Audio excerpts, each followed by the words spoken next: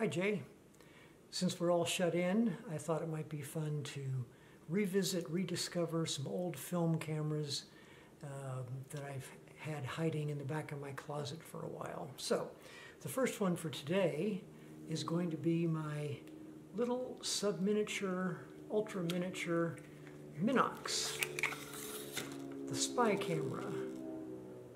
So this camera, um, my parents bought me this uh, when I graduated from high school back in 1966 for $108. That was my graduation gift. And it's a beautiful little camera.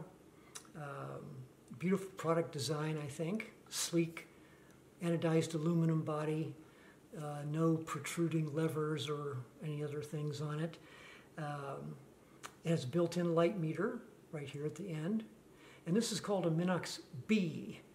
The original one was called a Minox A, and it did not have the light meter, so it was a little bit smaller than this camera. But this light meter is coupled to the shutter speed dial so that when you pr press this button up here and get a light meter reading, then you match the needle um, on the meter with the needle on, you know, the arrow on the meter with, and with this, and that sets your shutter speed. And uh, the shutter speeds go from a thousandth of a second all the way down to a half second. And then you also have a bulb setting and a time setting. So you can open the shutter and it will stay open for until you press the shutter again. Um, and it's all mechanical. There's no battery, no electronics at all. The um, meter is selenium, therefore it doesn't require a battery. And uh, it's all pretty cool. Um, it'll focus to 8 inches with the dial here. You twist the dial to set the focusing distance. And uh, 8 inches, therefore you can get very close and do copying of uh, photographs or text from a book. And to assist in that, there's this lanyard chain that's attached to the camera, and along the chain there are little beads. The first bead is at 8 inches, and so you would hold that uh, bead right up against your subject, and, and then that's how far, when you're focused at 8 inches, you'd focus there. And the first focus setting is 8 inches, the next one's 10 inches. There's a bead at 10 inches, a bead at 12 inches, at 18 inches, and then the whole chain altogether is two feet long.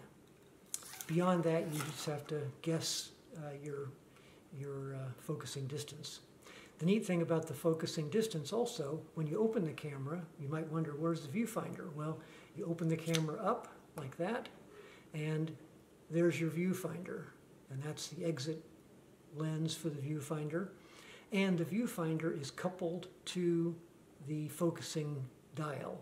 So as you focus more closely, the prism that's inside the viewfinder will actually angle downward toward the lens so that you're looking at what's actually being shot by the lens. It, it takes that parallax into consideration. Um, this little lanyard can be removed from the camera by pressing in, twisting 90 degrees, and it comes loose. There's a little boss on the end of the camera that, uh, that it connects to that has another function as well. At the other end is a flash uh, connection, a PC connection, and that uh, connects directly to the flash gun which attaches to this end of the camera. The camera, when it was originally sold years ago, took uh, uh the film was usually 25 ASA or ISO nowadays, and um, and it came in a, in a spool with 50 exposures. Here's the inside of the camera. The film comes in a little cartridge. You drop it in, close this up, and that then the film's inside the camera. You advance it a couple times to get to exposure one, and then you're ready to go. Each time you close the camera, it advances the film and recocks the shutter. Then when you open the camera, you're ready to go. You'll notice in the lens window, which is here, is is covered and therefore protected when it's not in use. So when you open the camera up, then that's the lens window. And um, the lens is actually behind the shutter. The shutter is right in front of the lens. It's like a focal plane shutter, only it's not at the focal plane, it's in front of the shutter. And I don't know if you can see this, but there's a little circular um, marking on that shutter curtain. When you trip the shutter, then that marking goes away, and so you know the camera has been fired, and therefore you can close it up, open it up again, and then you're ready to go. Um,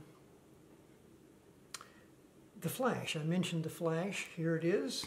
Comes in a little case, very similar to the case that the camera comes in, same styling. And this flash gun, again, has the same design. It slips onto the end, and there's a connection inside the flash gun that connects to that PC sync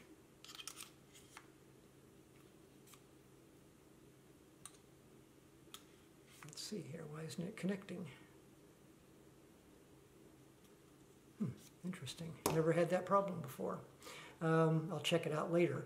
So this flash gun uses these little jelly bean flash bulbs and they just plug into the end of the flash and then there's a reflector that you deploy by sliding up on this little button on the back of the flash gun and that then creates a shield, a heat shield, so you don't get the heat of the bulb right next to your face when you're taking a picture, and it reflects the light out to the uh, subject.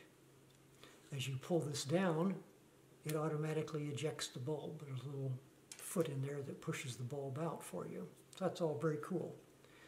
And I'll find out why it doesn't connect to the camera in a minute. Um, and the last accessory that I have for this camera is a tripod. This is made by Minox. It's a special Minox tripod designed especially for this camera. And, uh, but you might wonder, since the camera has no tripod socket, well, how do you attach the camera to the tripod? Well, Minox thought of that. They have this little bracket, a tripod bracket. And you press this in here twist this knurled knob to lock the camera in and then that uh, holds the camera. This little arm swings up and you notice that the shutter button is right here.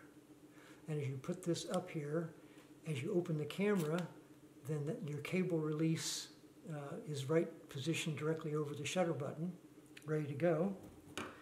And you can attach the camera to the tripod thusly. But you say, wait a minute, Earl, it's not a tripod, it's a monopod. How can that be a tripod? Well, the clever German engineers have a series of legs that screw into one another. So you screw that one out, then you screw that one out, and attach it right here. And now you've got yourself a little Minox tripod. This is a ball head that is controlled, the friction on the ball head is controlled by the big leg, and so you can snug that up to the camera's nice and secure. But you may ask, well, wait a minute, you need a cable release to release the shutter. Well, they thought of that too. Inside of the smallest leg, you unscrew this and out comes a beautiful little cable release which you then screw into that um, connection and then when you get ready to take your picture, there you go.